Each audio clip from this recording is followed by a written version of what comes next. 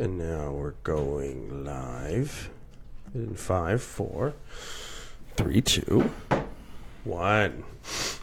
Welcome, welcome to the Ethan and Elvin Show. I'm the host, creator, executive producer, Ethan Ziltener. I'm here with 14 year professional athlete. Because it's not just a basketball player, are you, Elvin? No, I'm an athlete, man. Athlete. I'm an athlete. Elvin also squeeze into the shot a little bit. Just talking about, man, y'all scoot over there. Yeah, you can't make me sque- squeeze in. We sitting alright, on yeah. each other lap. Anyways, got NBL insider Jake Beckett. John, you got to turn the knob up. It's the second one. Hopefully, you figure it out. Johnny's on the boards. Did you figure it out, John? Jesus Christ. Anyways, it's episode 57, fellas. We're up, we're running. We got some news in the NBA to get over. Oh, yeah, we're based out of London, Ontario, Canada, and we're in association with Ziltener Media. How's it going, Carter Peckett? Hopefully, you will be on soon to give us some information. Anyways, all right, fellas. Tuesday night was a busy, or sorry, Monday night was a busy night for the Clippers and the Houston Rockets. Now, holy crummies, that was an interesting game. Um, who even won that game? The Clippers won, right? Yeah.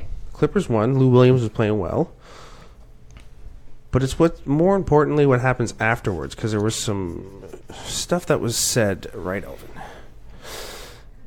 Trevor Ariza, Gerald Green, they took exception to something Austin Rivers said to them. Now I'm not quite sure what was said. We're not really sure. It doesn't really matter. Well, it was something very inappropriate. I'm assuming.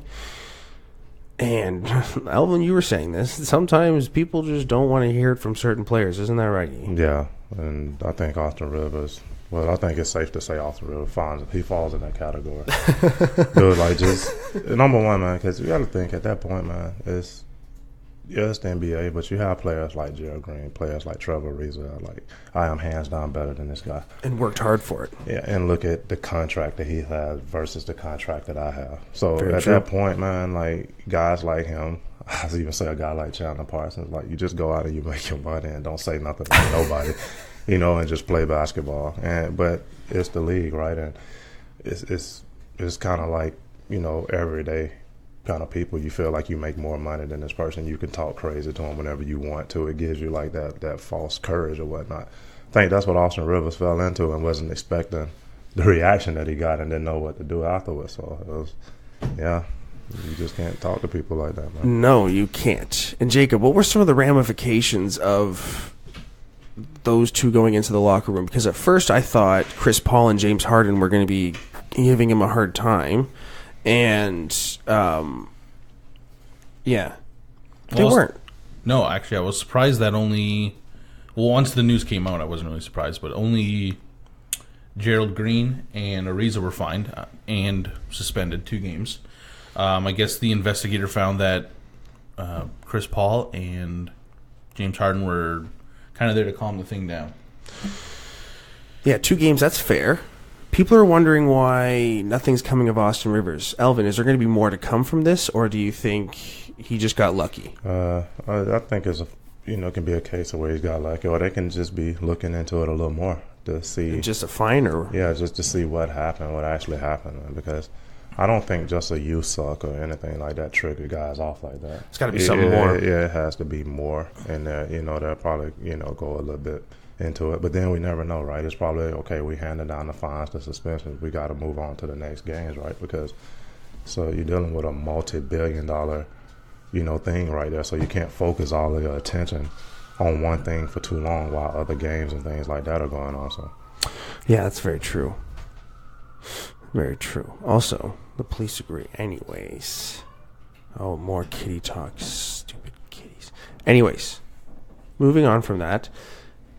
Well, actually, one last thing. It's very good because I thought hearing that Chris Paul went in there. First, everyone heard those rumblings how Chris Paul let him in the secret alleyway, you know, all that stuff. There's secret compartments and secret friggin' everywhere in the Clippers. Anyways, very untrue. Chris Paul was actually just being a mediator because I wouldn't expect that um, the leader or the head of the players association to actually go try and fight someone. You would think you would want that. Looks very bad in the league. But Yeah, anyways, it's just but when situations like that, man, that's that's how it, a lot of stuff, and you see it in all leagues. It's just it's outside people taking information and trying to turn it into what they want. because they don't know anything into. yet. Because you don't know. Like if if if I'm playing here with the Lightning, let's say, and for whatever reason I get traded to a Niagara Winds or whatever, I have no personal problem. I might not like the organization. I might like like the call that the head guys made. Doesn't mean that I'm not cool with the Garrett, the Mo, the this and that. Uh, You know, True. so even if we get into Your a coworkers. heated, yeah, even if we get into a heated altercation, we're gonna leave it on the floor after it's over with. You know, because of the respect factor that I have for them as people. You know, I'm not I'm not gonna take it off the court and go trying to meet them in the locker room to fight and stuff because I'm mad with what the head office decided to do. It's not their call, and I think that's what it was. Everybody's like wanting Chris Paul to have this deep hate and stuff so towards the Clippers to And you're right. I don't think it's there. anything that he, I'm, I'm pretty sure he's, you know, you're gonna chirp, right? Like, and it's gonna happen. Like you're gonna, it's, it's gonna competitiveness, right? Like, you know, it's, it's gonna get chippy. It's gonna, that's gonna happen. But at the end of the day, I'm pretty sure he can go down. He that still has love for the city. He can go down that line and you know shake everybody's hand. You know, And they're gonna say the what's up, players and all, Or even trainers, say I bet you. and then go on about our ways. You know, we we came out here, we competed at a high level. I either I got the best of you, you got the best of me. See you next time. You know, it's not. You know, I'm not going to take what you said in the first quarter, and and try to take it into the locker room after the game. It's just I think there's that's just the media fishing. You know, trying to make a big issue Yeah. out of it all. And this is why I'm glad we had a little time between podcasts because I personally hate speculation. I hate going off and trying to make assumptions and figure out what's next and all that jazz. I like how it's all been nice and wrapped up. Joe Green's got his two game suspension. I th- I personally think Austin Rivers got lucky. I think the NBA is just going, you know, you're injured right now. I, I wouldn't be surprised if I hear a uh, $25,000 fine, but yeah. Um, my next question is this, though, fellas. What are the Nets going to do with the $6 million um, they received for Jeremy Lin's injury? Because, you know, he's out for the whole season.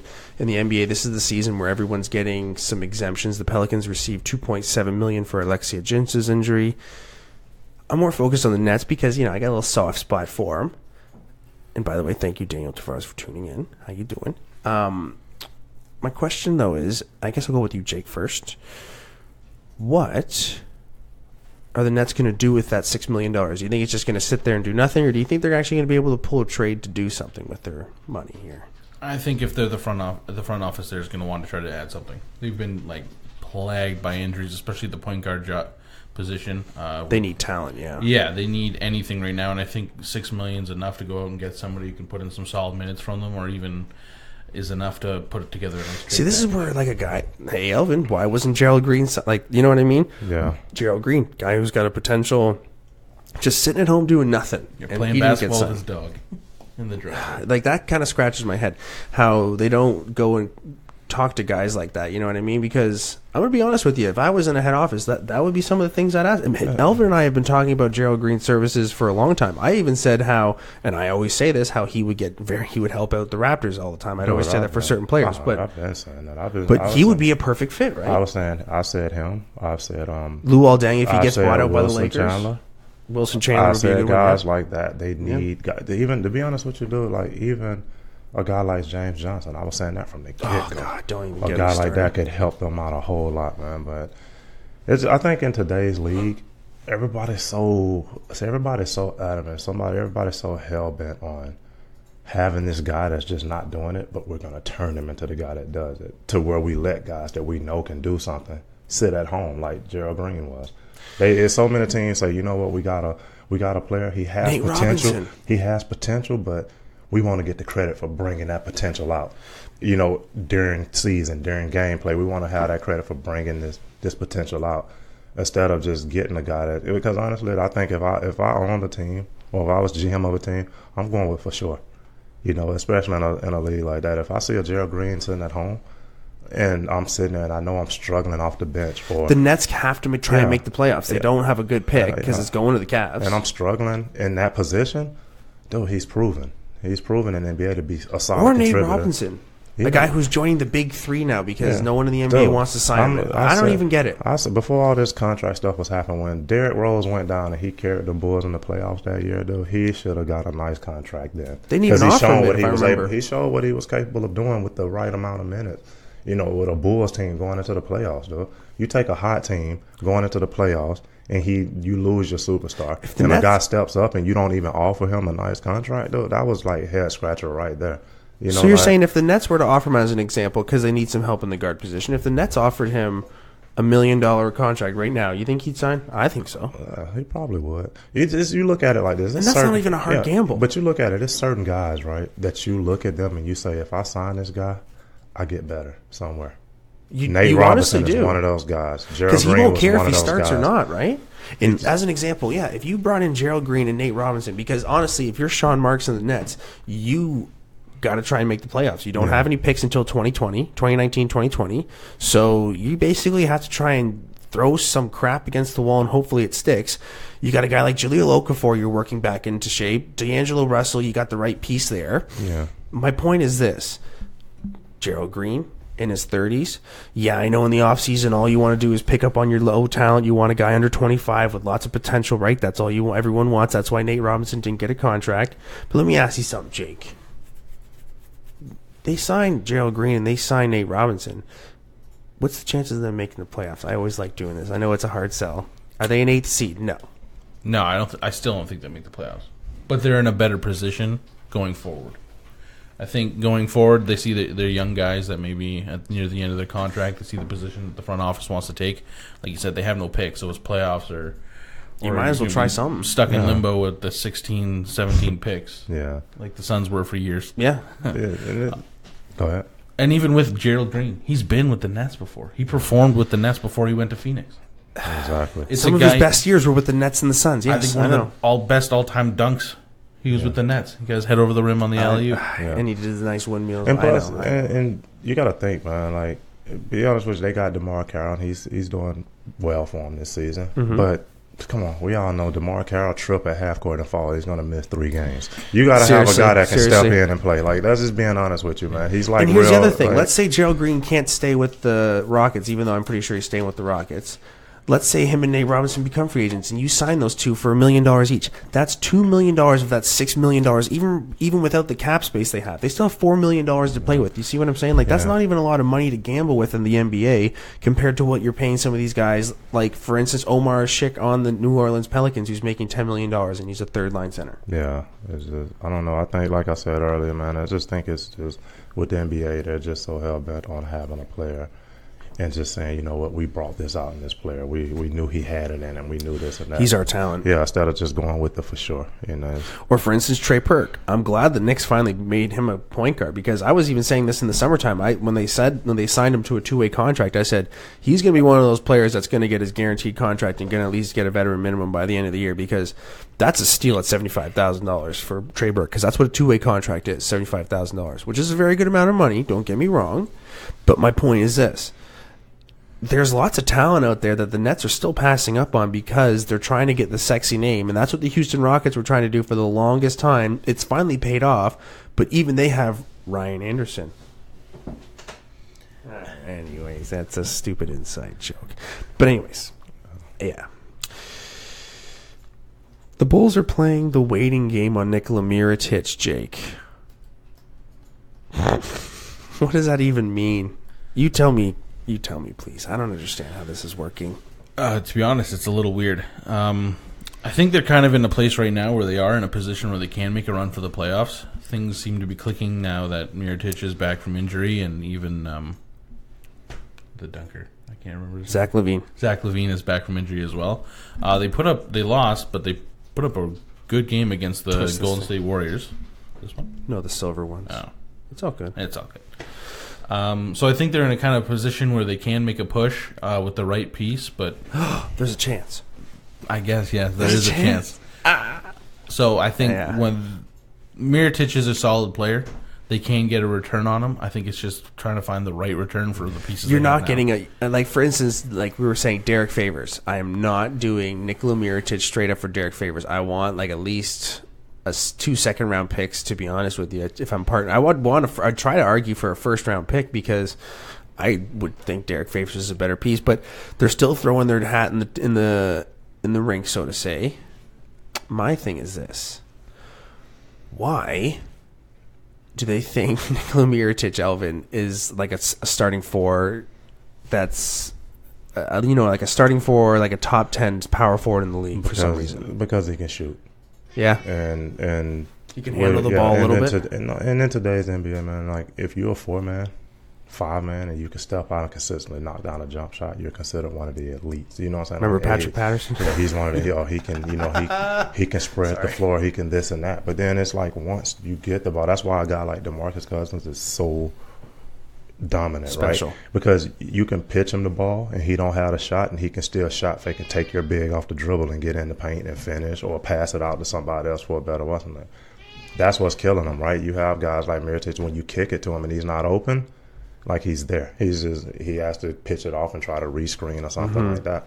That's what I don't like about his game. Is just I mean he's in the NBA, so that that speaks volume for his game. But in the NBA, You're giving just him the critical a- eye though. Yeah, just being able to pick and then shoot, and if the shot ain't there, you got to go and get rid of the ball. Because that's what you said to me with ball again. Patrick Patterson, and because I remember saying that to you, I'm like, Patrick Patterson's a great thing, right? He's a great stretch four, and you're like, all he does is shoot threes, so you just have to close out on him. And if you watch, he's like, if the if the pick and pop's not working, if they're not, if they read it and they're they're going right over that screen and they're going right up under into his shorts, he he can't go onto the block and get you a little hook. No. He can't do anything. and that's why I like James Johnson. So, like, and they and at this point in time, I think the one thing that crippled his game with the NBA is because he wasn't one of Well, those. it's 'cause type of- Patrick Patterson had a lot of followers. No, it's because it wasn't James Johnson wasn't the player that's just gonna go gun up a bunch of threes. And in No. today's game, everybody loves the three. If you are, you know, you can suck everywhere else in the game, but if you can knock down a three, oh, everybody loves you. See, you know like, yeah, that's another the- thing I would have done in the offseason if I was the Nets. I would have thrown. Tell me if this is crazy. Twenty million dollars a season at James Johnson. Dude, that dude, he can play though. I would just- like I here's a three year, sixty million. Yeah, I just think when his situation with the Raptors, it was just it was one of them unfortunate situations. We don't know what was going on behind closed doors, but It's- some I- of the they stuff were in love with Patterson, Yeah, it's just some of the stuff that I seen him do to the guy. Like I felt like it was unfair. Like you turn around, and You you were playing, saying that a you lot. playing you playing Cleveland, and he hasn't played the first two games. Then in the third game, you just throw him out there and say stop LeBron. Like, dude, and he did a half decent job But I'm saying though, that's not you. You can't like just sitting him. He was, uh, but he Oh, I know, and they would start him- He had more DNPs, Or you'd see his- him start, and I this would be the most piss off thing if I was an NBA player and this happened to me. He would start and get like sixteen minutes, Yeah, twelve minutes, ten like- minutes. and he's serviceable. Like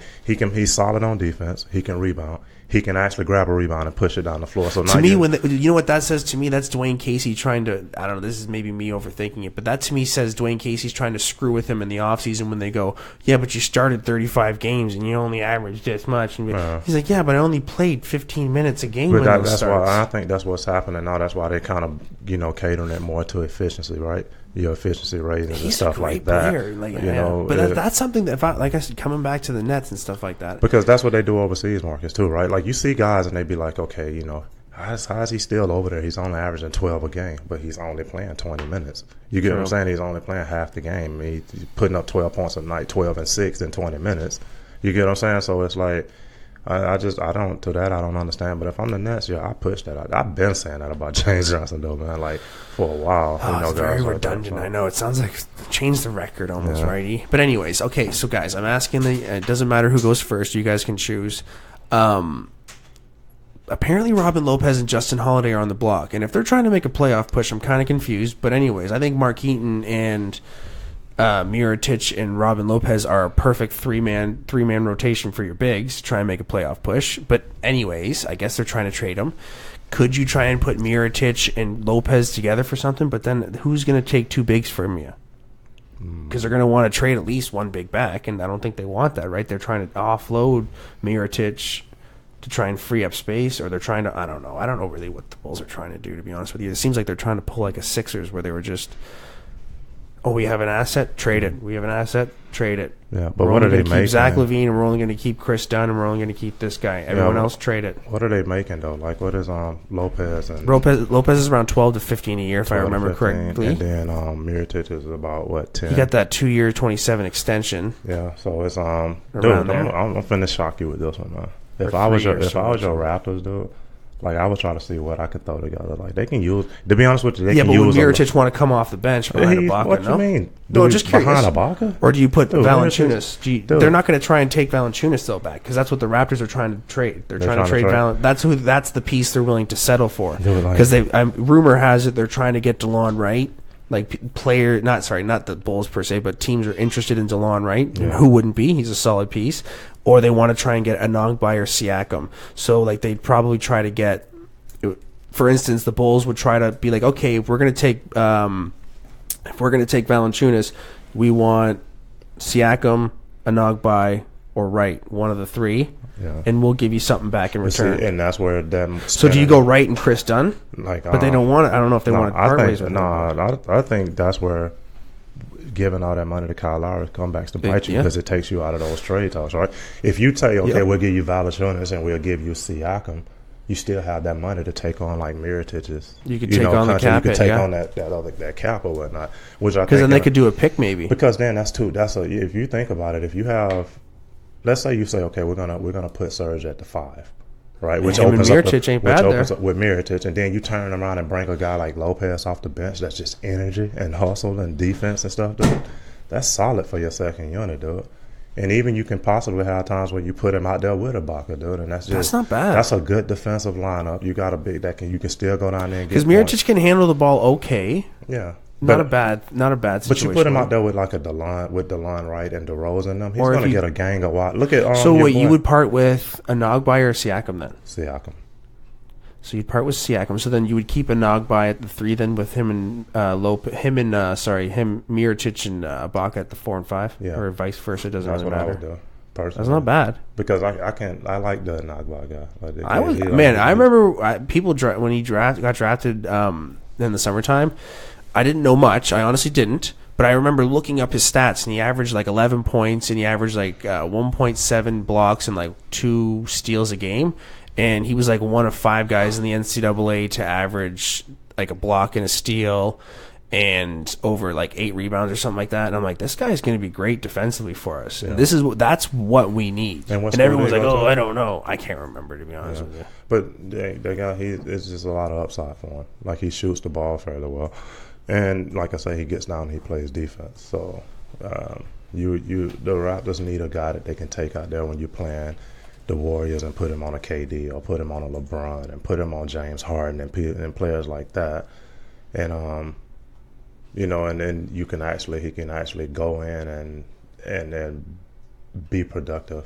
He went to Indiana. It's a great Yeah. school, just Yeah, like and they- Victor and they, Oladipo. And they hang their hat defensively. Like teams like that hang their hats on defense, man. So it's like, It's a quick little search there. yeah, Anyways, the Pistons and the Raptors played gentlemen. Mm-hmm.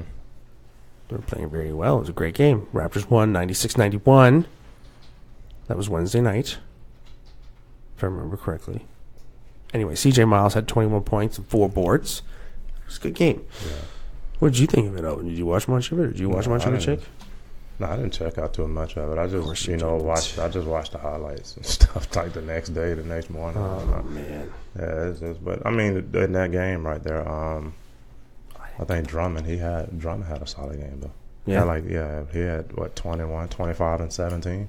Jesus Christ. That's dominating your big. That is making Valanciunas. You know what? That's a but tough day. dude, in this, and I, and I promise you, his twenty five was all in the paint. Oh, Not one jump Guys, I got a quick fan question. I think I'm ahead of you there, Johnny. Carter Peckett says he knows it's early, but he wants to know what teams will make it to the conference finals from both conferences. I'm going to say it's going to be the Raptors and the Celtics. Okay. Book it. And it's going to be this going to be the Minnesota Timberwolves versus the oh no versus the um Jesus, I'm having a hard time here. Golden State Warriors. Gosh darn it. But Uh, Golden State's going to go to the finals Yeah. against the Raptors. Oh,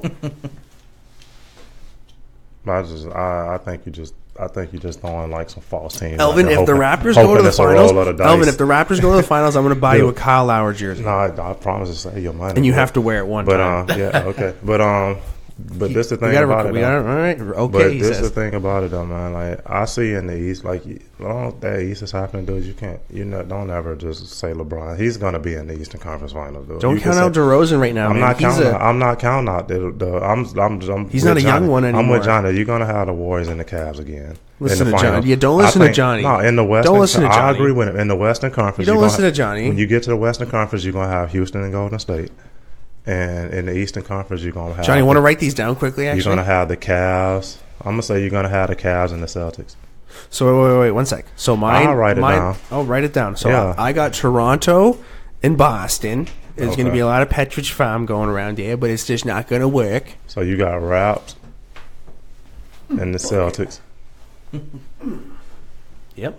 Okay. Versus the Timberwolves, I think Jimmy Butler is going to emerge very strong in the second half, Wolves and Warrior. and Karl-Anthony Towns is going to be a, a mess for him. But the Warriors are going to win. Okay. And then so you got the Raps winning the East, right? I'm just asking. Hell yes, Okay. So I'm gonna put a star oh. above the Raps, and then you got the. And we're going to lose in the finals in six you games. got- so we're gonna win two games Raps. in the finals. and Warrior Big shot. in the finals. Okay. So, me, yeah, I'm saying Cleveland and the damn. Celtics. All right. Yeah. Hot damn. um. Anyways, I really appreciate everyone tuning in. Also, but anyways, Jake, what are you saying? Who's going to the conference finals for you? Like Alvin said, can't bet a lot. Can't bet against LeBron. Oh, in you the are playoffs- just in the you're a safe bet. Year after year, there's drama during the. during Yes, the he's a high end. Ferrari, but that thing's been into the shop too many times, and he keeps screaming at his mechanic and telling him he's an idiot, and the mechanic's finally standing up to him and saying, "No, you're an idiot, and you're getting old, and your warranty's almost up." So I'm going to say in the Eastern Conference, Cavs. Um, oh, I don't know if I want to go Celtics or Raptors. To it's gonna be the Raptors, baby. You'll see. DeMar DeRozan's is, uh, he's on a fucking he's on a tear. Sorry for my son. he's on a tear. Yes, but can he carry the Raptors alone through the playoffs to the will. conference finals? Yes, he will because If- we all know Kyle Lowry's not going to show up, so we might as well just he could just go to the bench. He's see, he's where my arm is right now. He's just he's Yeah, nowhere. yeah, no, he's, you can't. That dude's getting a hundred mil over three. Don't If- send him to the bench. If they don't run, yeah. No, but you- no, he's don't- nah, showing up though. nah, you know what I mean. He's don't coming hear off the He- he bench. don't He's get not, but you know what I mean. When he inked that three years, hundred mil, It's a regular season deal, though. Giving him the benefit of the doubt is You even said it's an 82 game deal, Elvin. Anything can happen after this. So, and I mean, don't get me wrong, DeRozan is playing well now, but like Jake said, is he able to continue this for the? Because this is the first half of the season. Still got a second half, and then trying to carry like, dude, that takes a toll Yes. on you, man. To have to come out. of I think him leaving night. in the playoffs early is kind of pissing him off. I think, and it's pissing me off. Yeah, it can piss him off, but he's not going to go out and beat a team by himself. Like I don't care. No, but I'm really hoping Kyle Lowry shows up a little. Yeah, bit. see, and that, but that's your hundred million dollar man. You shouldn't be hoping he shows up. You should be hoping. Alvin, you should be hoping my a $100 DeLon- million You should be man. Hoping a. DeLon Wright shows up. You should be hoping a Siakam or Poeltl shows up. Not hoping a hundred million dollar man shows up. I said we. If it was me, which I would have already sent him to you, he should- Sacramento, I would have been. Here's some flyers. Go there. I don't be- care where you go. to be honest with you, man, he should be having an out of body experience and ready for the first game. I would have signed either Jeff right. Teague.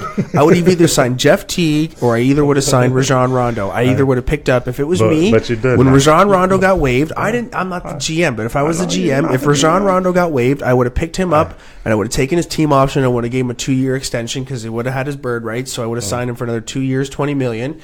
And then the money we would have saved there, I would have either signed PJ Tucker or I would have looked at. Um, uh, I'm in love with Jameer Nelson for some reason. A guy like Jameer Nelson to come off the bench too, potentially, or even Nate Robinson. I would look at Nate Robinson or even Gerald Green because if I would have saw the list of, I would have listed off all the shooting guards and just did like a top ten in each position to see who I would look after. A Gerald Green would be perfect for our veteran leadership, or another guy I would look at um, in the long run if he gets bought out by the Lakers is Luol Deng. You gave me like the perfect excuse that made me say, "Hmm," just now.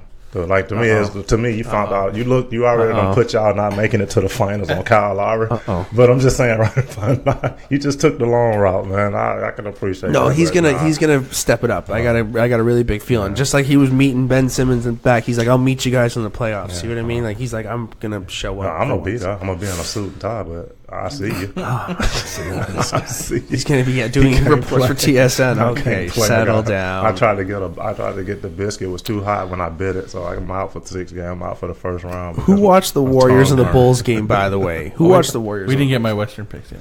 Get his Western picks, man. Don't leave him out.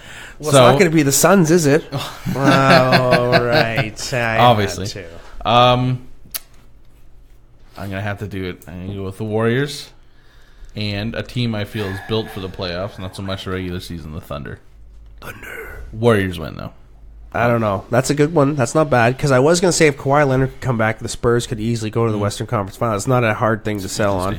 But uh, it's the Spurs. I don't see it them winning. But them being fifth in the Western Conference still without Kawhi Leonard, and I don't think he's coming back this season. Is he, Elvin?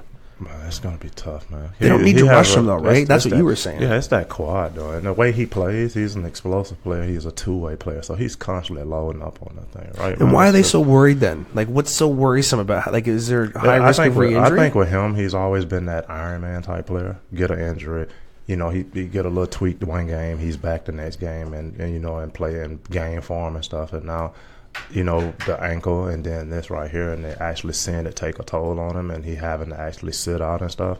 And people just haven't seen Kawhi Leonard in that, that light, right? He's been that player that's been playing, you know, 70 some games, you know, almost four seasons up into the playoffs when his ankle injury. And now it's like, you know, you've seen it, right? It, you know, you had Derrick Rose at his prime, get an injury after injury after injury, and it decline. You see players do that, mm-hmm. and I think right about now people are just kind of like, That's a very good you know, point, you're actually. not, you're not, but I feel like it'd be all right though. Now, All right, well, yeah, the Spurs aren't in a rush, and they're they're still fifth. Like I can't get over how ESPN had him win thirty games. I'm like, you're, Gregg Popovich doesn't know how to win thirty. He like, he's not going to do that. That just won't happen. They'll, yeah. Anyways, who watched the Warriors and the Bulls game? Because I watched Lauri Marquis, and he had some pretty good D actually on. Steph Curry. I'm not going to lie there. Yeah, so I, I saw the clips from that too, man. That guy's that was a good pickup for him, dude. That dude is solid, man. Yeah, it wasn't He- bad. He's Um, a rookie too, right? Yeah. He's from Finland. He's a rookie. Yeah, he's I from forgot Finland about him too, man. He could be. They had him in talks about like rookie of the Oh, year. rookie of the year is Donovan Mitchell for me. He's, Yeah. It's Donovan Mitchell. I'm very impressed with him. I can't get over it. He's leading in rookie scoring and all that jazz, and he's doing get it all that jazz. Come on, guys, that was a good one. Oh, right, I'll stop. Um, oh, that's where Donovan Mitchell went. No, uh, Oh, Lauri. Mar- Lauri yeah, Oh, I thought he played in Finland. My bad. Oh, he's from Finland. Is that where his family? Anyways, he went to Arizona University. Very good school. Anywho, um, Donovan Mitchell's my early candidate right now. Him and then Ben Simmons. I don't even have Lonzo Ball in my top five. I think he's like six or seven. I think he's he's still a very solid rookie. I'm not taking away. I just think there's a lot better rookies this year. To be honest with you, there's a lot of good talent. But anyways, what about you guys? Who do you think's got your who's your who's creep creeping up on you for your rookie of the year? I think Lauri's definitely a top three.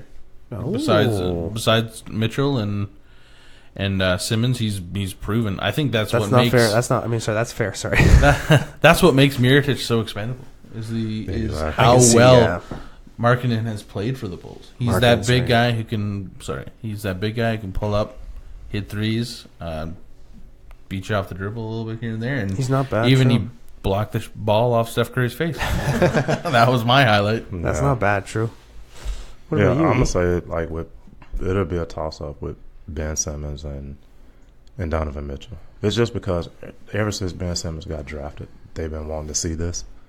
He's Yeah. been living up to the you hype. know, yeah, he's been living up to it, man, and and and plus he's taking a a, a team like I think that's what put them like the front runners because they're taking teams like the Sixers and the Jazz, and and actually doing something with them. Um, but like you say, you can't take out this guy, and you also like, but still you got Kuzma in there too, right? With him being a late first round pick and all that, that's a great story as it's well. just so many different, you know, things. So I think this will be like a real. I think by far this will be the first time in a while, if ever, that we see it's like a nail biter between four different people. You know, four or five. I know this people. sounds weird, but remember when it was a bit of a nail biter between Emeka Okafor and Ben Gordon? Yeah, I do. That makes me think of that. Sorry, I don't know why that just popped into my head. That was a bad. But the thing about race, it, Ben Gordon, he could he could He was a go, shooter. though, man. Like that's the thing about it. What happened to Emeka Okafor again? He had a back injury. Ooh, Yeah, he had like a nasty back injury. he's playing in the D League though, isn't he? Yeah, he's in the D League now. Good for him. My That's, son's that's traded for him. Really? The Yeah, a rights? couple years ago, the Suns got him from The Washington. oh yeah yeah to And see the if they could maybe Morris work it yeah, Yeah. let's see if they can make it work because they have a really good staff there but his back must be a little temperamental I don't know That but I seen him in that D League showcase, and he looked. He He's looked doing pretty good? Like no, he wasn't look like he was nursing it, wasn't running or none of that. You know, made a he's a couple post dude, moves man. and dunked he the was ball. a solid big I liked yeah, him Yeah, and he was like a rim protector too, right? very Like, solid off rim protector so, actually yeah. for Charlotte Yeah, yeah. but anyways Klay Thompson dropped 38 points for the Bulls going back on track there yeah. Um, oh, your daughter's smiling, Jake. Say hi. Anyways, uh, uh, Klay Thompson had 38 points, four rebounds, and a block. Look at that. Steph Curry, even though he got his he got his shot blocked, um, he had 30 points, nine rebounds, nine rebounds. Good for him. and Four assists. Nikola Mirotic, he's pleading his case though. He's got 24 points, six rebounds, four assists. That's not bad, Elvin. No, not at all. But anyways, I got a little something I wanted to throw at you guys. I didn't put it in the script when I sent it to you on purpose. We're making like an all-time team quick. I just this is one I want to see quickly. I just saw it on uh, Basketball Forever. Um, it was between Manu Ginobili, Jamal Crawford, and Lou Williams. They said you got to pick a six man to start a team. Who are you going to pick? And I just thought, well, you're going to cut, trade, extend one. That's what we like to do here. Elvin, you're the GM. You're always in GM mode. Um, who you cutting? Who you trading? Who you extending? No, it's it's a tough one, man. But um, I'm gonna have to cut Manu. He's doing well, but I'm gonna have to cut him because you, I'm looking to start a team with a six man, and Manu's only gonna get another. You're probably gonna get only another year out of him, if that. True, Um, very true. You know, I'll trade tr- value. Yeah, Yeah, I have to trade Jamal Crawford. as much as I love JC, but he's he's on like you gotta look. JC is like what 37, almost 38 as well, right? See what you can get for that, and then you extend Lou Williams. You gotta go in that situation with the numbers that's being put up, and I'm not taking nothing away from you know Jamal Crawford. Like he's very, that's like very serviceable off the bench, but. um at this time, I'm gonna have to just go with what Lou Williams doing, and with the youth of it, you'll get more, you know, longevity out of that than the other two. So it's just one of them situations you just they just fall in the wrong category. You know what I'm saying? And it's, it's nothing to do with personal play. Manu Ginobili ten years ago is a different story, right? Yeah, you Yeah. look at Manu ten years ago. You look at Jamal Crawford. But you're right, he if maybe you give me this, has t- one yeah, more you give me these yeah. three options ten years ago, and it's completely different. You know what I'm saying? So it's, it's it's just right now. You said I'm looking to build, right? So I got to go with the best young player. And you know? would draw the. Yeah, I was honestly thought though. I thought you were just going to extend Jamal Crawford because I, I just thought of the consistency of it. I'm Yeah, serious. I thought you would try and trade Lou Williams because of his high value right now. No, I would, I, and that crossed my mind. But then I'm looking at, you know, you mess around and you you get those trade the high value, whatnot. You get a couple pieces for Lou Williams. I mean, and then But are you gonna get a JC, sure thing? And then JC say, you know what, something happened. They say, I, I'm just, I got one more year and I'm done, or something like that. or I got right? two So- more and that's it. Yeah, and that's it. And then because he's it's like 36, 37, isn't he? Yeah, he's like 37. So, it's, and I mean. You know, and, and Yeah. he's a guard too, right? If he was, if they was putting up numbers like this, and they was 37 and and a big like back to the basket, it'll change it, right? Because they're from paint to paint, Mm-hmm. things like that. But you know, you're having to run behind these guards, run off screen and stuff. That takes a toll on them. But What about you, Jacob? I can do the same as Elvin. No, that, that is fair. Yeah, because I was uh, that I was thinking it's mine's pretty much mine's the same thing too. I wasn't sure.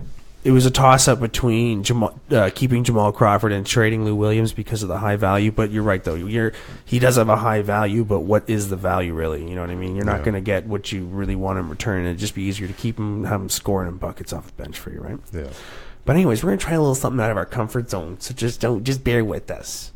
We're doing some NFL news. Now, I know a little bit about football. One thing I've always been fascinated with, and because it's always been put into my face, is the Cleveland Browns sucking. and they've just sucked for so long. I never understood it. Their head coach, we were talking about this before, Elvin. His name's Hue Jackson. He's won one game in the last two years, so he's like one in thirty or one in thirty-one it's a terrible record. That's not a lot of wins. Usually, Yeah. you want more than that. And I'm trying to figure out here how can they fix this because that's literally been the question for the last ten years. There's uh, there's always been this meme where it shows like uh, there's a quarterback if somebody wears the number two for the Cleveland Browns, it'll just have like a list of other players who have worn it just crossed off, like Yeah. Johnny Manziel, Josh McCown, like all these other guys. And they've had solid quarterbacks come through, like Josh McCown, but I don't get it. Anyways, yeah, they did hire though John Dorsey, a general manager in 25 years of front office front office experience. He's got 19 playoff bursts, 11 division titles, three conference championships, two Super Bowls, and those are not going to get any better by playing with the Browns. It's all going to stay there until these. I'm just joking. They needed a quarterback, but that's been the story for a long time. Do you guys, are you guys familiar with the Browns? Um, Terrell Pro. No, it's not Terrell. Pro- ah, what's his name? Anyways, they have this young quarterback that didn't do that very well. Surprise, surprise. Um, but anyways, I hope they do well. I don't understand how they can. I don't know. Do you guys know how they can fix this? This is this a complete overhaul? But that's been an overhaul for a long time. I don't know. I think they need to do it through the draft. To be honest, free Yeah. agents are not going to want to go there. Um, Kenny no. Britt didn't show up winning one game in the last two seasons. I don't even know past that how bad. Because they're saying they need veterans. But Elvin, Yeah. how are you going to bring veterans into a you can't, situation like, like, that? dude. That's the thing about it. You can't bring Even that is- overpaying You could say you you need veterans, but you got to think once once a guy get to veteran status, he's he's pretty much banked the money that he wants to bank, right? Yeah. To them, there's like they want to win. when you're in professional sports, you don't want to be that guy that put up good numbers and then win, or so then like put James yourself Harrison in a won't sign there. No, no, they won't get players like that due to the fact that, dude, I don't have time for rebuilding. No, you don't. I want to. I, I got to get to the postseason. I got to give myself a chance to say I at least made it to a conference championship. I at least this. You know what I'm saying? At least I, I've, I've not just played 16 games and was done every year. Yeah. So Yeah. that's going to be hard. Like Jake said, they're going to have to build through a draft. But it's just I would, like what me and Johnny was talking beforehand, though, man. When teams are losing, everybody's first solution is to fire the coach, and I don't get it, man. I mean, you see it at every and sport. who's going to want to go coach there? Yeah, like the f- fire the coach, fire the coach. Well, I was just looking. I mean, I don't follow football like crazy, but I kind of you know get the gist of it. And we was talking, dude. You have an offensive coordinator and a defensive coordinator, right?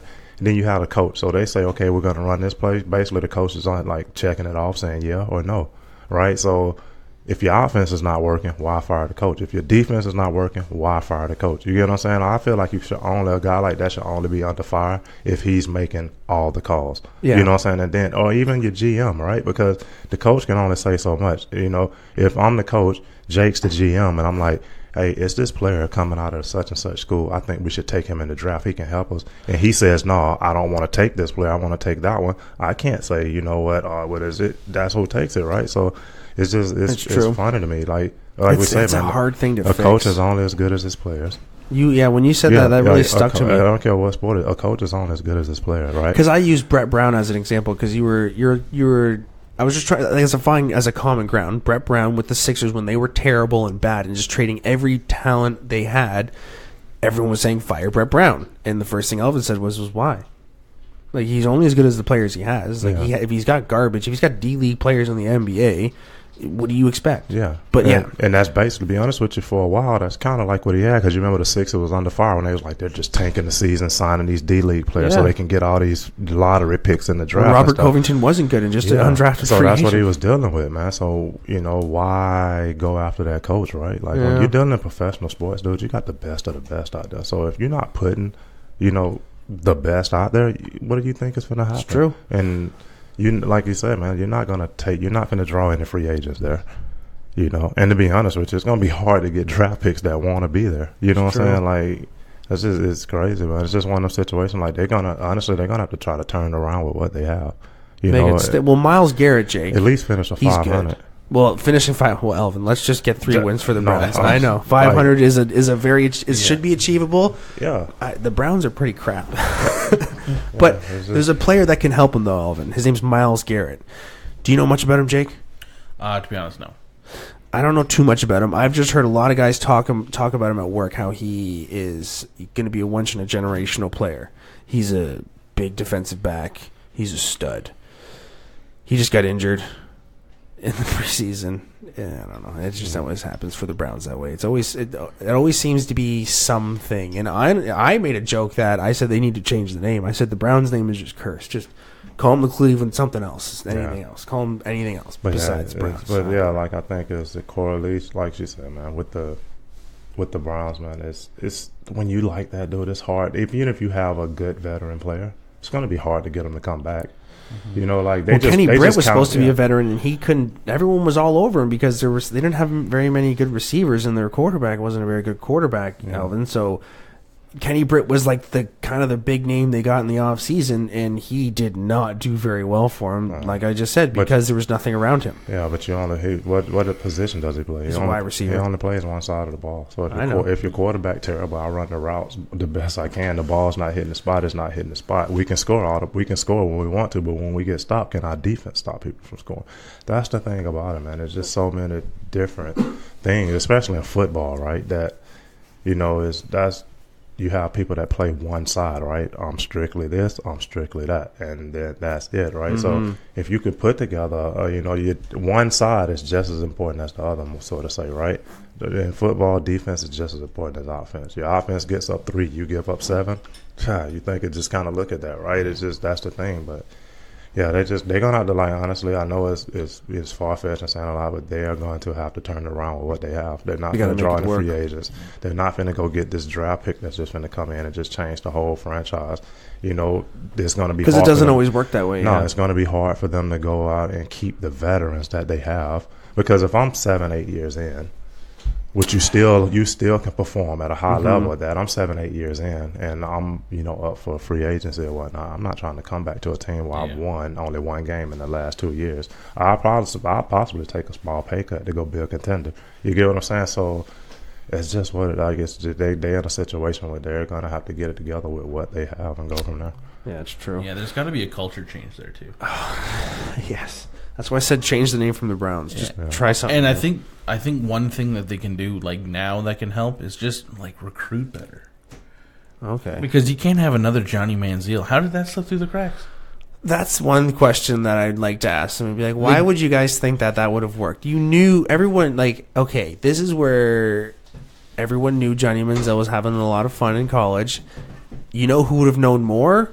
The producers of the show. I mean, not producers. The people who run the whole operation for him. The general manager, the owner, the people who can actually reach out to the people, the athletic director and the head coach, and actually get an honest answer and be like, yeah, what was Johnny Manziel like? What was he doing? I don't know. That's what I'm thinking. Um. Anyways, uh, who do you guys got winning against the Jaguars and the Patriots? Um, I'm the Patriots, dude. Like Can't go against Tom That's Brady. the, they they like. I'm gonna, I'm gonna tell you the Patriots. They was if they was like food. It's like one of them things where if you just sprinkle a little too much seasoning, you'll mess it up. You know what I'm saying? Like, that's what they are. That's what they are right now. They're like perfectly seasoned for this, right? Yeah. The Patriots. I think the Patriots just like honestly, I think they go through the regular season just to be ready for when the playoffs get here. You know what I'm saying? They they are just they like they're too solid everywhere. Like, and and, and that's what that's what. Like that's what like they, that's a team. they could man. take someone off the street and make them a serviceable player somehow. Bill Yeah. Belichick, he can do that with anyone. it right. doesn't matter. It's Yeah. the most fascinating thing. The Jaguars, though, they have Leonard Fournette. Did I say that right, Johnny? Yeah. I think I did. Um, he's supposed to be really good. He's a great running back. Blake Bortles. I play fantasy football, and Blake Bortles is a big question mark in fantasy because he's some weekends he's really good, some weekends he's not. Last weekend he was very good. He had 88, 88 yards rushing, 88 yards throwing. But the Jaguars have a really good defense. That's the other thing. They have mm-hmm. like the the I think it's like the number one defense or a top three defense in the NFL. That is a that can help you win a championship. Now, just going off of what I know from basketball, if you want to win a championship, you got to be top five in like offense and defense and stuff like that. And that's one thing that can help. Oh, Johnny thinks Jacksonville. Jacksonville for Johnson. Yeah. Oh boy, It's just I don't know, man. You, I tell you what, they finna find out how good their defense is now because it's going to now be a hell of a they got a matchup. yeah. quarterback that is a killer that they finna play against, and feeds off of and he has an offensive line that protects him, right? So, like I used to always say, that's why I think I was a big fan of like Peyton Manning and stuff, man, because that dude, his approach to the game was so strategic, man. Until it was like, if you give him a little too much time, he is going to pick your defense apart. You know what I'm saying? And like honestly, like if But if you hit Peyton Manning, that was the one thing. Like I was talking to this one guy at work, Mike Stouchwich. He is a huge fan of the show, and he's a big football guy. He said the only way that Jacksonville can stand a chance, he's intrigued, is that he said is if they can hit him early. If you can hit Peyton Manning early, that's the they were breaking it down. That's the only time Peyton Manning can get sacked in the first quarter a couple times. That's when he has bad games because he starts getting rattled. But the thing is, He they've been protected for so So long. you don't Like, think you don't think that in that They already know this, too. The first day of training camps or the first week of training camps and stuff, They wanna see that red Belichick, shirt? We Belichick him. them then say, "You see that guy in the red shirt right there? He does not get hit."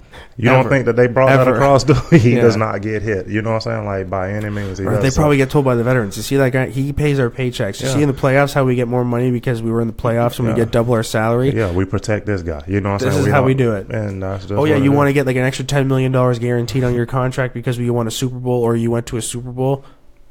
Make sure he's okay. Yeah, like Oh, that's- okay. That's what it is, man.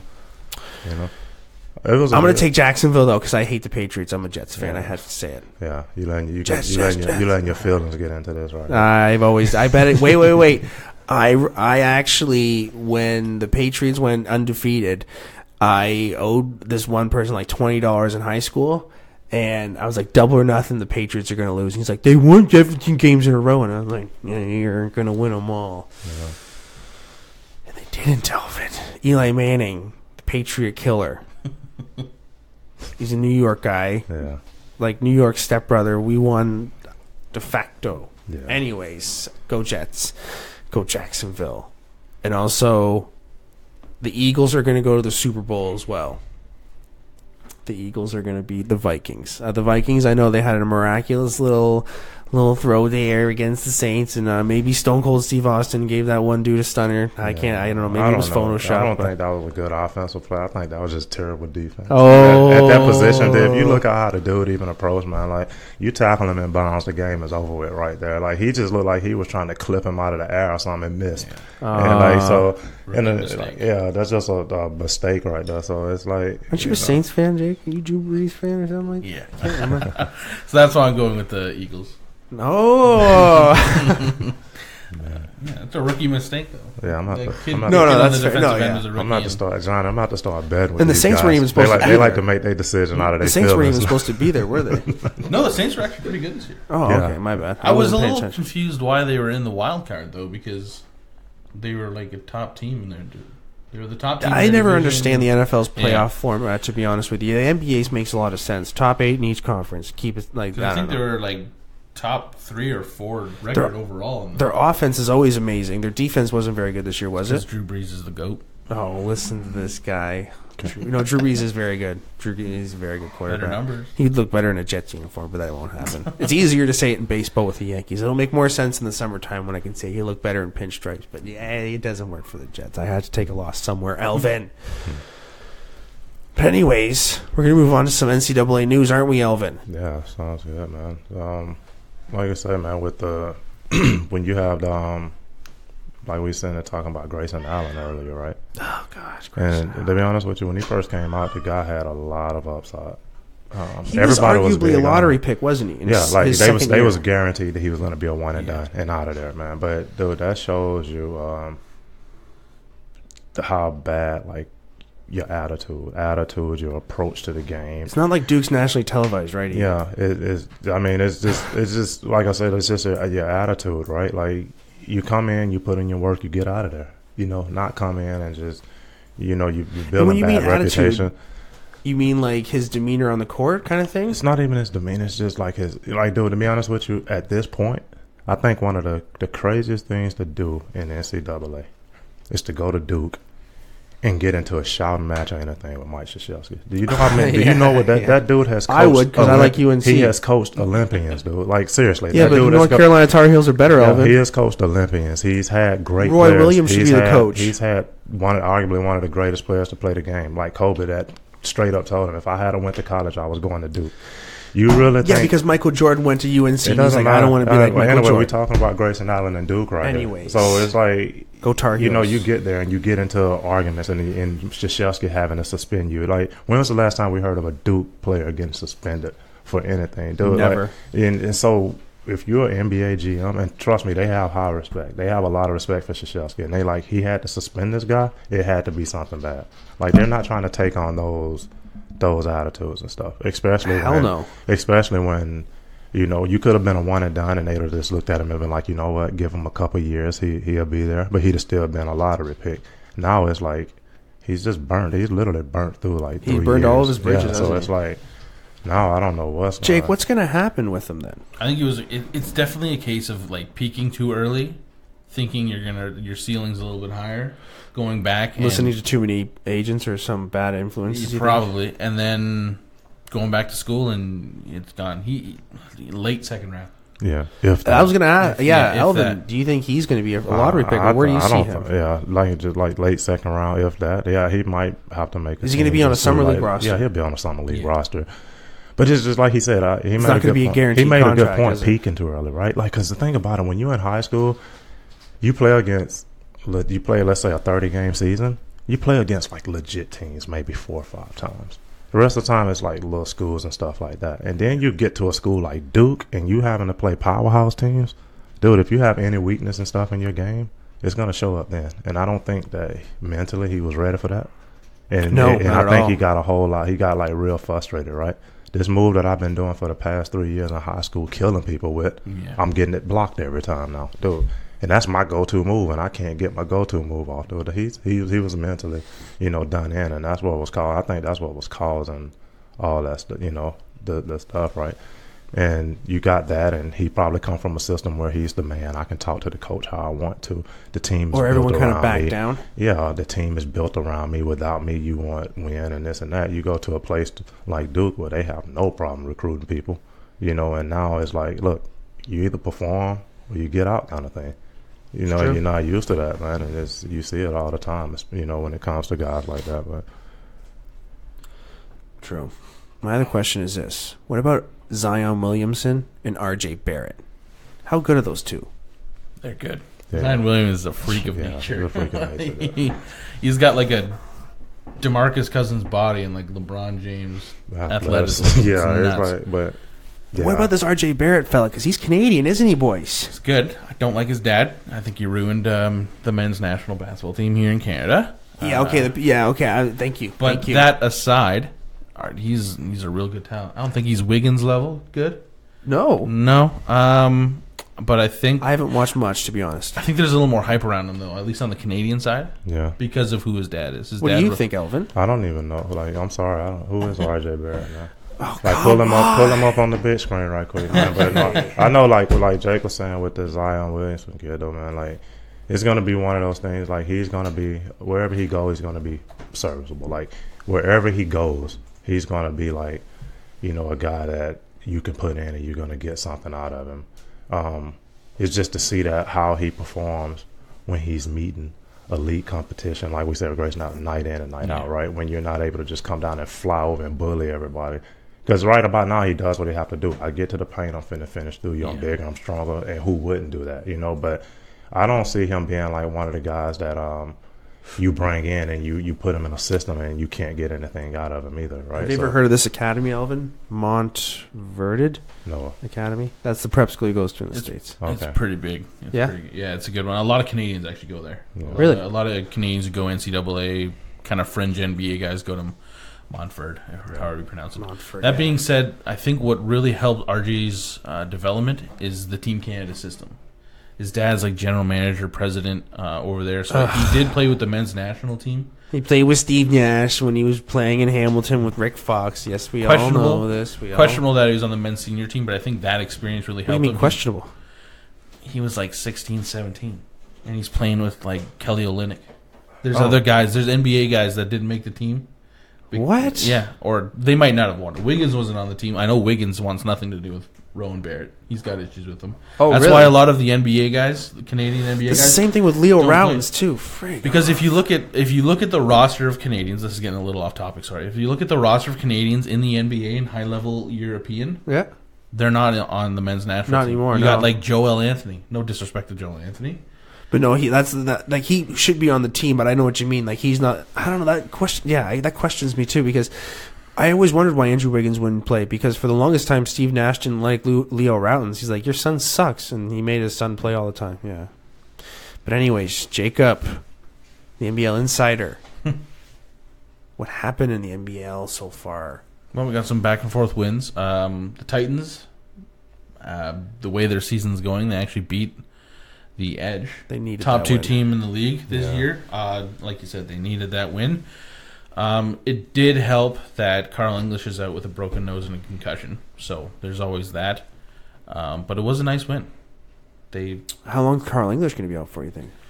uh, there hasn't actually really been a whole lot on it. I only the only reason I know he's out with concussion is because I heard something from another fan. But like, there's been no deactivation, no A report of it yet? report of it yet. So it's questionable, uh, especially with concussions and how everybody's Yeah. uber aware of how concussions are nowadays. It's really a hit and miss thing. Yeah. Yeah. I see him coming back and wearing a mask like uh, Royce White though.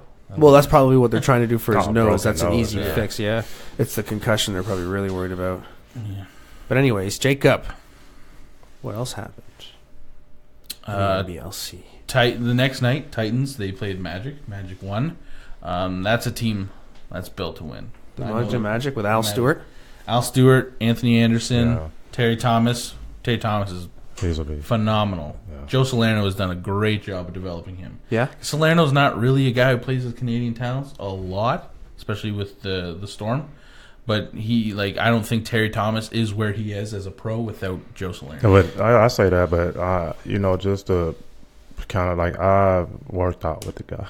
I see the work that the dude Terry puts Yeah. in over the summer. That dude puts in work. Oh, yeah. Like he, you know, He's not to not to discredit you know anything from the coach, Yeah, but that guy puts in work over the summer during his off season. That's one guy that I see. You know, I've, I've worked out with him. I've been in the gym, you know, doing workouts, and he's been in there working out. Like the guy puts, because he, I, I think if I'm not mistaken, he has a, a, a kid or whatnot close by, right? So he's Mhm. he's always around the London, St. Thomas area during the off season. So he, he works out here quite a bit. That guy puts in work. So it's just it's like one of those things where you know you see him during the off season, and then when he gets in season and he's tuned that way, you like you know what You know that- why. yeah you know why and where it's coming from. So I think a couple more seasons, he's definitely the best Canadian to play in this league. No way. Yeah, um, Carl English, I don't see playing too many more years. No, here. it would have been him if he was a younger man. Yeah. Um, but He's I a think great talent. I think Garrett Williamson, yeah, He's dual won citizen. Canadian of the year, dual citizen. Garrett Williamson's a heck of a player. You can't discredit anything he's done with London uh, in his career as a professional. But I think uh, Terry Thomas definitely has has shown that he can be one of the better Canadians to have played in this league. yeah, That's that's really impressive. All right, I like that. The Moncton Magic are a team I'm going to have to take a little look see. I like their jerseys. Yeah, they went with the old uh, classic black and silver. Yeah, I like that. The Spurs look Spurs. nice. I'm a Spurs fan. I can say it. But anyways, Jake Up. The London Lightning and the St. John's Edge played. What happened between those two? It was a very good game. St. John's actually led most of the way, which shows like how good they can be even Oh, without that was a good English. game. That was a very good game. I think Charles Hinkle is like a top three guy in this league. Oh, I'm very impressed with him and that um, Glaze fella. yeah, Grandy Glaze, another Canadian Big guy. fan of him. He's a Yeah. big man. Holy crap. Yeah, That's a wide dude. he's a big guy. Um, he's he's kind of teetered off from how hot he started this season. He's averaging like 15 rebounds a game. He's down now, but He's around 10. but he's a, definitely a very solid starter. He's He's around 10 a game. Is that what it is? Or Uh, I think I think with how hard he started, yeah, I think he's around 10-9 per game. That's so. fine. That's fair, though. Everyone Yeah. starts hot. But, anyways. Um, but he's like one of the guys you can throw out there and can like physically match up with a Royce White.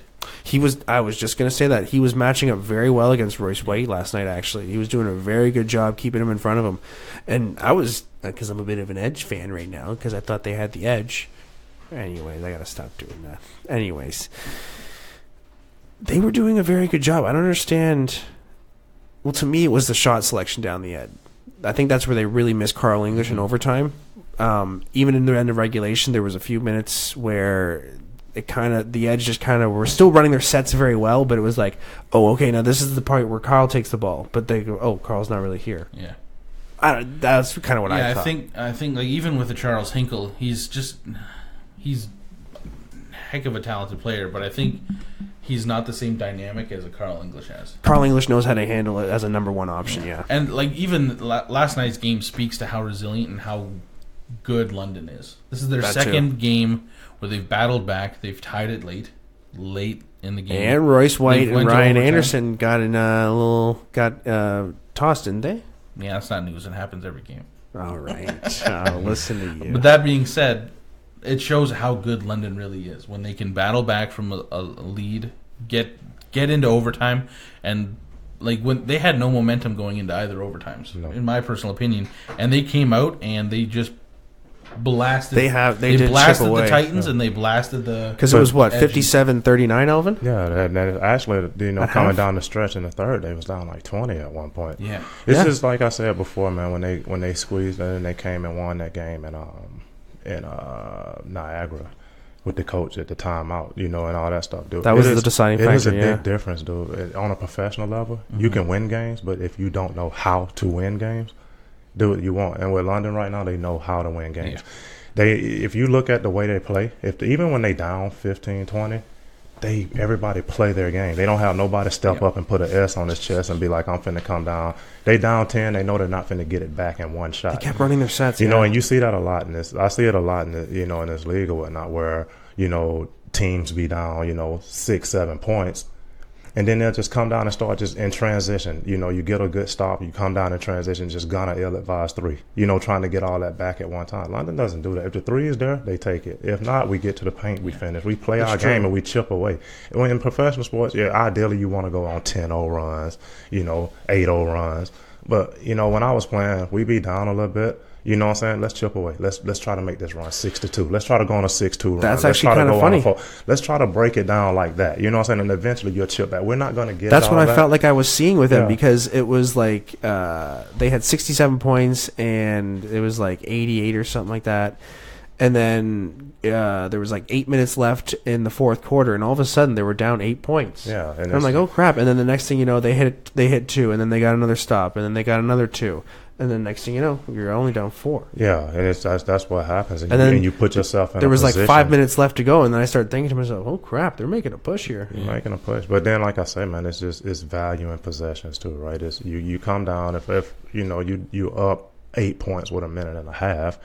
Use that half minute. Use that twenty four. have to get seconds. stops too, Use that twenty four seconds and Yeah. get try to get you a good shot at six seven seconds on the shot clock. And this is why analytics miss- are bad, aren't they? If you miss, if you turn around and you miss, you might get an offensive board. That's a minute that you pretty much burnt. The team has to foul. It becomes a free throw shooting contest. and not just come down and say, you know what, I, I come down. They had two people trying to trap. I broke it. Let's kick it over here and just take a quick trade. Because you miss it, they get a rebound. They got two people on the other end. Boom, easy layup. That go two points. You know, it's like it's so much.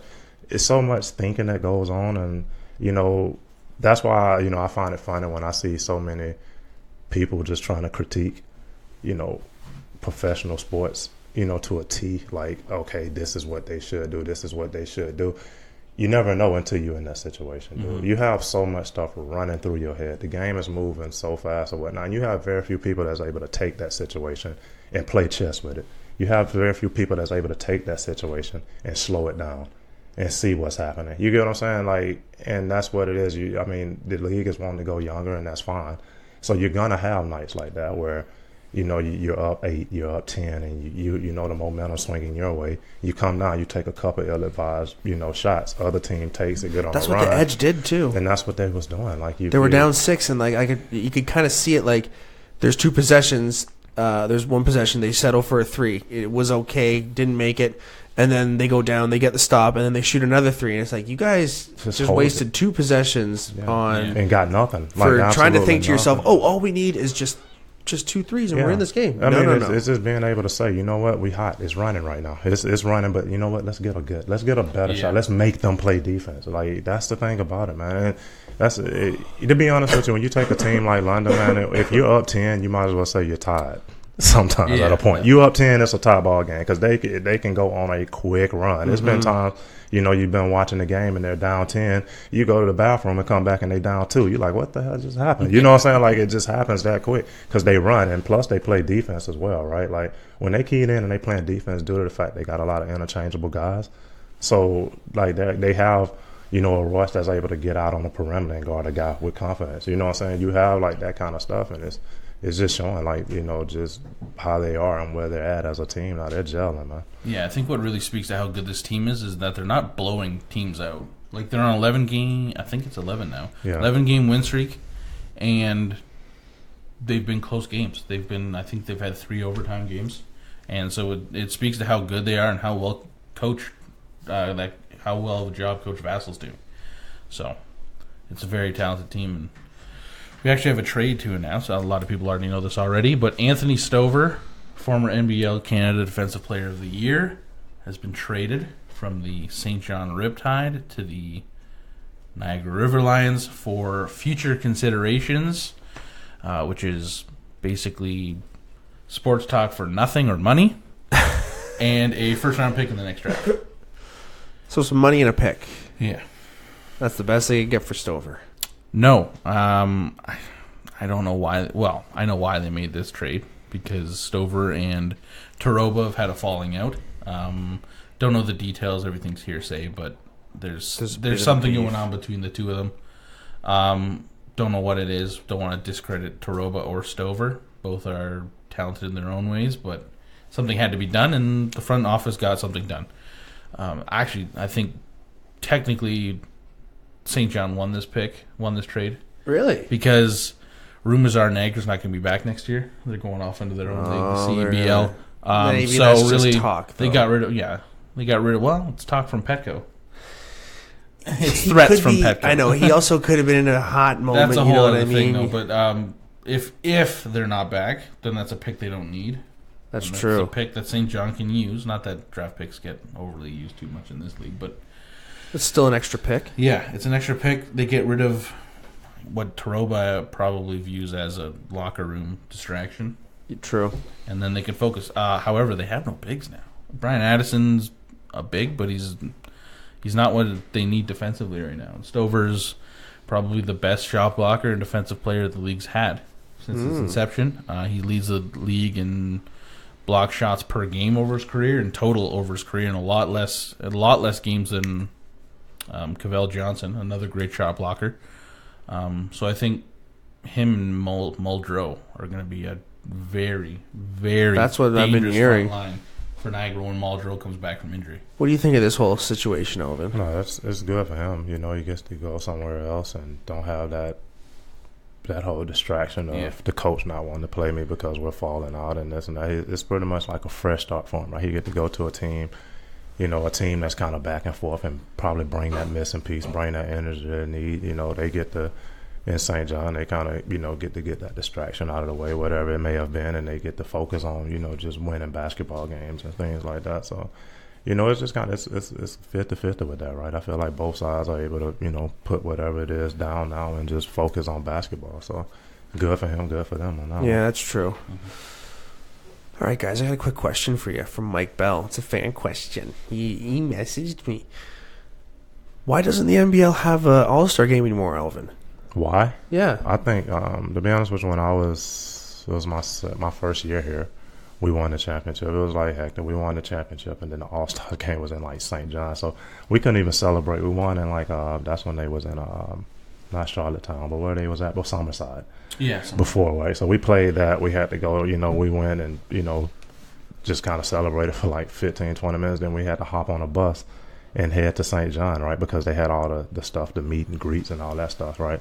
But I think what started happening was they they started having issues with like the venues and stuff, right? Because you you got to turn around, you got to rent the arena, you know, for that time, and players are wanting to be paid and all that. And they just found out, you know, I guess at that point in time, I don't know why now, but at that point in time, they was just like, you know, expense wise, was it really worth it? You know what I'm True. saying? So it's, it's Well, Jake, does that mean it can happen in the future? I think you can. I think they need to change it though. It's not the NBA where these guys make million dollars a year. They can fly themselves to Vegas or whatever city for the weekend. Or weekend. the teams can even cover it too. Yeah, yeah. Well, that's the thing too. A lot of the teams didn't want to cover that. Yeah. that's what I Really? like uh, from talking with um, I get Magley and and Audley and a couple other guys who were involved in the front office years back. It, it was it came down to money because if you hold it in St. John, St. John's got to foot the bill for the arena for the for the weekend. Well, it was only a one day event, I think. So foot the bill for the day. And then every team's got to either pay their players to go or they just won't go, kind of thing. So I think if the league I see. if the league is in the situation in a situation where they're financially more stable, they have that solid flow of income from sponsors and partnerships. I think they can Try and build l- something. there. try and try to gauge gauge with the teams, gauge with the players, because these are a lot of these guys. You only can get them for a year. These guys aren't on multi-year contracts, so I think they need to do a little research, look into what the viability of them footing the bill for it is, um, and then at the end of the day, it's just a matter of It should be hosted in like Woodstock, I think, or teams are trying to make expansion cities, right, Alvin? That's what they should do it in. They should go to a city like Woodstock and be like, "Hey, you guys, we're on the radar." But I mean, now." being a or like part- Sudbury or but something. being like a part of them before, man, is actually it's it's a good thing. It was fun. It, it was fun overall because you get to interact with guys from other teams that Yeah. usually y'all are trying to tear each other heads off, right? So you get to just interact with them as a person or whatnot. So you know, and it's just it's, it's just a after a good long season of just battling out, it's kind of you know good and Yeah. refreshing to just go and just you know laugh and joke and just have a game and fun, you know. With the guys, but you know, I, I, I it could possibly come back. I don't see it, you know, not happening. But like Jake said, you know, they could get together and figure out how to make it happen, it'll be a good thing for the league. Though. Now, would you keep it at the end of the season, or do you do like a mid-season? No, I would keep it at the end. Yeah. That's the Like, smarter yeah, thing. that- I, I would just keep it at the end, man. Because when you're doing it mid-season, it's, it's so much, right? It's like Yeah. teams are like, I don't want my guy to go out. Then you got to book get off hurt. five days for No, everyone. ain't Like, even. I just don't want to go. I don't want my guys to go out and possibly get hurt, and, Yeah. and, you know, then I'm missing them for the second half of the season, or it just depends on how severe the injury is. So you just keep it at the end of the season, and you know, and just go from there. That's how it's always been in every league that I've been, you know, in and uh, with the End All of the Star year thing. classic? It's always been like an end of the year kind of thing, but. True. All right. Got a quick question for you from Carter Peckett. He wants to know if there's going to be any more NAPB franchises. I believe there is. I think they've got five slotted for next year to join. Yeah, there's going to be a bunch more in the next Hmm. couple of, ye- in the next year, and then that's not even including what's going to probably be on the works for the next two or three years. I'm sure they've already got Yeah. stuff in the works. Yeah, they mo- they moving forward, man. Uh, that, that league, it'll be okay. It'll You be know, good. Just don't charge people for streaming. But I'm it's this is the thing about it. Like I, I noticed that's been like a big topic, and my thing is when you get to situations like that, like so many people have something to say with no solutions, with no even not even a solution in mind. So I mean, before you know, you never know, you know what the, and it doesn't mean that they're struggling financially. Maybe they just see, you know what, we can we can do it this way, and they looking down the thing, man. but It's- 79 US dollars it's to the- watch it's the first, it's the first the season. same level of talent It's as the, MB, N- NBL. I'd rather the- just watch the NBL. To be Well, honest, I mean, but that's the thing, and that's your right. Like you have, like you have the right to say, you know what, I don't want to pay that seventy nine. But to go, like, to start going online and you know bashing the league and things of that nature due to the fact that you don't agree with them charging for games, is that doesn't make it any right. Then you think them charging for games. I mean, like I, it was a, it was the whole write up with the guy Tyshawn Patterson that played in this league before. He won like Player of the Week, and the discussion got to the to them charging for games. Like, like hmm. honestly, I, I've I've played professional sports, dude. I've played like in the minors of it, dude. I understand what a lot of people don't understand. Is I understand these guys struggle. I hmm. understand their drive. I understand what they go through. So to take it and say, you know what, because the league is doing something, let's overshine what this player is doing. You know, it's just not right. You know, like to, to to take that approach. It's okay if you don't agree with something. If I don't agree with it. Let's just. It, I don't think it's right. That's my personal opinion, and we just move on from it. You know, like, but they. I'm pretty sure they have reason for doing that. You know, if if you think about it, even it's not a bad idea, if- but I think it should be cheaper. even if it's stream quality, right? Like I'm pretty sure Jake No, Like dude, two. I remember two, three years into the NBL, people was complaining about the stream and how bad it was, right? It, it's, it's up into now that they've been more consistent Yeah. with good streaming. That's And, true. like this stuff It's takes true. it takes a while, man. Yeah. Like nobody builds a house from the roof down. Oh, I can tell you, gotta this didn't founda- happen overnight either. This You- podcast, I yeah, agree. you got. It, it, you don't like I said. Nobody builds a house from the roof down, right? You got to get a foundation out of it and start building on that. You know, so who knows? Maybe next year they might have, without us even knowing, because we don't know the inner workings of why they're doing it. Next year, streaming every game might be free. You know, it's Hopefully. just that's the thing about it. But I mean, to the the calm down on it. You know, not knowing the inner workings and and not having a solution. I mean, nobody's reached out and said, you know what, let me contact Magley and see why they're charging. If it's anything that I can do, or if it's anything my company can do, if there's anything we can do to try to help push so that people can view the games for free. You know what I'm saying? I And- tried and- to add him on of that- Facebook. he didn't accept that- my friend that request. wasn't Actually, that kind of seriously. stuff. But I mean, but if you go in, if you, if you go in and it's like, oh well, you know, they're streaming and this league is subpar and it's this and that stuff. Do it like because honestly, like I feel like to say stuff like that, you have to be able to, to be picked up. If a team was to say we need you to do anything and you go and add value to that, you know, that's when you can be extremely judgmental of an organization, of a team as a player, if you're working in office or anything like that. You know, it's just, too, I just feel like with professional sports in general, and I'm saying that from viewing it as an athlete, it's too many people chiming in on decisions with no solution. Right? If mm-hmm. if I decide that you know what we sucking at defense, we got to do something defensively. I can go out there and pick it up defensively. You know what I'm saying? If I say this and that, I can go out and I can do that. But to sit there and be the worst defender ever known to mankind and saying how much we suck defensively, it doesn't it doesn't help the problem. You get what I'm saying? So I just feel like it's it's different avenues, and until I did try to uh, reach out and talk to him though, and- but no one wanted. To, no one wanted to talk to me. I added just- him. I added it- David but- Magley to say to him, "Hey, man, But it's just just- curious as to why, so I can I can actually when people are that- but complaining that- on my post saying, "Hey, why are you why are you posting a feed on the NBL Canada page?" Um, where they're trying to get us to pay for watching games. I'm not paying to watch games. But I just- okay, well, I'll try and talk to him Okay, but it's like this here though, man. Was that do you reach out prior to or after you bashed or call it? Uh, this was before I. This is before I said the league was subpar. Actually, like you know, do you? I added out? David Magley. I waited, and he just didn't answer anything. And I went, all right, well, you guys want to do this? I find that that as a league is very subpar. To try that would be like the NBL trying to get people to pay for streams back when you joined the league. When the league was in the second year, third year, when the the streaming wasn't very good, nobody would have paid it, and I think that would have crippled the league. To be honest with you, if the league would have done that, do you think that would have helped or hindered the league two years think- ago, three years think, ago? I don't think it would have hindered them. It, it helps being able to view them. Yeah, it helps, but I don't think it would have hindered. Like I, I don't think people would have not watched. All it does is just it, teams are able to follow their teams. well, I'm not watching, and there's a bunch of people here Teams not are- watching. So the thing about it, this is the thing about it. Um, if you take a team from out east, Moncton when they came here, right? It's not going to stop their fan base. You know, it just gives their fan base a chance to watch them play on the road. It's not going to hurt. You know what I'm saying? It just gives No. them uh, the ability to watch their teams when they're on the road. That's all it is. But like I said, when it comes to that kind of stuff, you know, is is you, you never know. You never know why. Like I said, like I said, it could be next year that everything is you know is free. They might just say, you know what, this is our first year. How do you know that they're not sitting there and they're like, you know what, I really don't want to do this, but right now we're gonna have to. It's gonna probably because it's off- like this with the podcast, Elvin. I don't make any money from this. As you want an example, Yeah. On Podbean, I could charge a cent a podcast. They've already given me emails and notifications that if you charge just one cent a podcast, that means next year you could charge four cents a podcast, and then the year after that, five cents a podcast. They're already trying to sell me on these analytics, but you know what? I already know. I know people aren't going to pay even a cent to watch our podcast. That's not fair. Or maybe people are going to do it, but is it actually going to make us money? It's not yeah, going to do us on anything. Podbean, right? But people watch the podcast on Facebook and all that and things of that nature, right? So I know, and that's what I'm it- saying. Uh, And it's not going to stop the following. Just because you don't, just because yes you don't and no because Podbean. um, Podbean is trying to get me to get people to pay, which isn't going to work. And I found that using the free service from YouTube, uh, from YouTube or from Facebook, is actually a better, tr- better way to do it. I'm not going to even. I'm probably not even going to upload our stuff on iTunes uh, when our contract's up with Podbean. I'm not going to spend uh, 400 US or 400 dollars total. It's like 250 Canadian or something like that, and it comes out to 400 US um, just to put my stuff on iTunes when no one's really listening to it much on iTunes. Everyone listens to it for free on Facebook more. We have way more. I can show you the analytics. I can show you how, on average, we have around five minutes of viewership for a podcast. For Podbean, it's nothing. I only have a total of 57 total downloads for our podcast and only 477 views total for our, our whole website.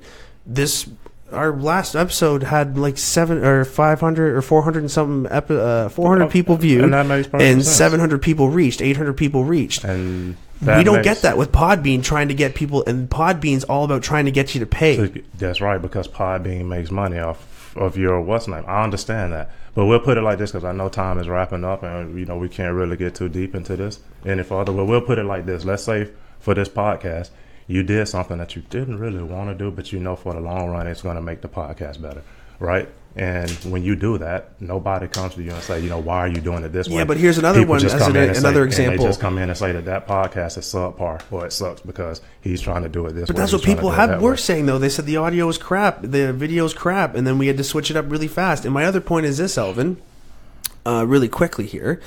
Um, for oh, I never. We'll just wrap. We gotta wrap this up. We gotta get going. We Uh, gotta one thing, one thing. I think the issue with the league that people have is Magley. You think so? I think a lot of NBL Canada fans, and the only reason we talk about this league or anybody talks about this league, Is it not, Canada not a big least, fan of him? is because people are upset with Magley, the way Magley left the league and was kind of working on this on the side while he was still kind of with the NBL. Oh, I didn't know So that. I think that's I think that's the issue. I think otherwise, Everything People leave it alone. It's just another. It's another league. Nobody said anything about the PBL being a threat. No, No, I don't have any problem with players. I just don't think. No, I'm not saying smart. this is your issue. I know No. you've got the, the issue with the money uh, thing, but I think a lot of people, a lot of fans in the NBL talk about the NAPB because it's David. It is. David They, they, Magnus. they, it's, it's, it's not being. To be honest with you, it's not. If they was to stream or whatnot, it's not streamed because they want to watch the basketball. It'll be streamed due to comparisons. yeah. That, that's all it is. Let's just be real about True. it. It's- Or won't- watching won't- former players. It, it, it's, yeah, guilty of it either watch former players or you'll stream to say, you know what, this league is not like the NBL. So yo, this league is not like nothing. That's why I say the problem lies with us as people. You know, like it's the approach to it all, right? No solution. You know, I'm just gonna come in. You know, I'm not gonna support it for the sake of support it. I'm gonna support it so that I can put, compare or I can this and that stuff. And that's where it's at right now when you come to that league in the NBLC. But like in granted though, when players are doing great things basketball wise, they're doing great things basketball wise. And I don't think it should get overshadowed by people's personal opinion about somebody else when it comes to it. I know, I know, You and I want to watch some of these about it. guys play. I want to see DeAndre Thomas play. I want to see all these fellas Mario play. Moon's there now too. Uh, former Kareem Raptor, Rush. Kareem Rush, you former know, Raptor again, Smush Elvin. Parker. You know, so Not a you- former Raptor. Yeah, but I mean, you got so I mean that league has to be okay. They're getting former Yeah. NBA players. That's as well, why I so want to no see it, fool. Elvin. But at the same time, I also So it can't be subpar then if they bringing in. I you know, said it's NBA subpar players. for them trying to charge people. I never said uh-huh. anything about the talent, Elvin. I never said anything about the uh-huh. players. I said as a league, charging people is very subpar. Like I said, if I started charging people for this podcast, people would be like, "Sorry, Ethan, you're a cool guy and all, but it's not going to work." Yeah. That's why we're trying to get sponsors to help pay for it. But it's, it's I don't know. That's that's the only example I can give you here, and just showing as a to try and relate it as a whole. For me, like that's how I relate to it. I relate to it as if I tried to charge people, no one would be paying for it. I don't know. I just I, I hope it works out for him. I want to watch the league. I want to see him grow. I want to. This is why we have our podcast, so we cover minor league sports like this because nobody really covers it. You don't see TSN covering them. You don't see the score covering it all because the score wants people to pay them. We're doing it for free. But anyways, I got a haircut today, guys. I'm all excited. Yeah, I can tell. I saw one. Haircut, haircut is just as snazzy as that sweater. That's a nice sweater. I like this sweater. I can tell. Anyways, I, go see Juan at the Cherry Hill Mall, guys. Say you saw it from the Ethan and Elvin show. You can text them. You can call them. He's easier to text. You can text him at 519 719 5721. Also, it's kind of cold out. It's kind of chilly. Still nice, though. You don't need to shovel the snow, guys. Get my little brother Seth to do it. Call him at 519 532 0076. That's Perennial Landscaping. Also, guys, like us on Facebook, iTunes, Instagram, subscribe on YouTube. It's Ethan and Elvin Show. There's a contest, isn't there, Elvin? Yeah, got it. Got it. It was pretty packed with action too, man. From what I saw, I know. I didn't even have to pay for the the boost from Facebook. I They don't want you- me to pay for it. I'm not paying. you don't have to pay for the boost. You're right. But if you decide to pay for the boost, only you know why you're charging for it. No, I'm not doing it. Okay then. So I'm not. I mean, I, I, I don't know. I, I don't, I'm letting it grow naturally. I, think you. I think. I, I think you could have charged for it, and, and No. not charging would have been. No, because Facebook wants me to pay like twenty three dollars American, and then they say they're going to reach another five thousand people for me. And the last time I tried that in the summer, it I only reached like seven hundred people, and I'm like, well, that was a waste of fifty bucks. But it was so it was a trial and error.